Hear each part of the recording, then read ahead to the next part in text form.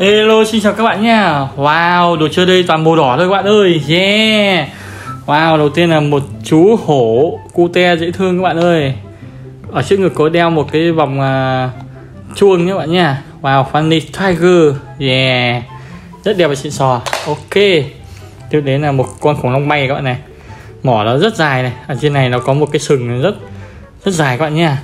Wow ở đây có một cái nút bấm nhạc các bạn này.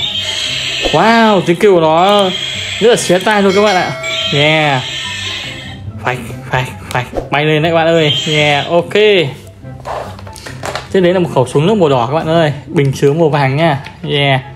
Super water gun. Yeah ok. Tiếp đến là một khẩu súng máy các bạn ơi. Avenger. Súng này của đội trưởng Mỹ này. Toàn ngôi sao này các bạn này. Nghe khiên này ok, yeah. Wow. Wow. Iron Man các bạn ơi, người sắt các bạn ơi. Wow, người sắt này có năng lượng này, đèn sáng này, rất là chặt chè các bạn nha. Ok, rất xịn sò luôn. Tiếp đến là một chú sư tử lion này các bạn ơi. Lovely lion. Ngực đeo một cái chuông các bạn nha. Wow, mặt cute dễ thương quá các bạn ạ. Yeah. Ok. Tiếp đến là mặt nạ của Joker các bạn ơi. Joker tóc màu đỏ luôn. Ok nhìn rất là hài hước các bạn ạ. Nhưng cũng nham hiểm. Wow, một Ultraman các bạn ơi, khổng lồ luôn các bạn ơi. Nhìn cái tay này, to hơn cả cái tay mình luôn này.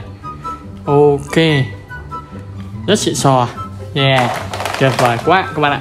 Wow, đây một khẩu súng bắn bóng bóng các bạn ơi. Khẩu súng này rất là nhiều lòng các bạn nha. Yeah. Rất xịn sò các bạn ơi. Màu đỏ. Ok tiếp đến là một khẩu súng hình con vẹt hay con chim này các bạn này.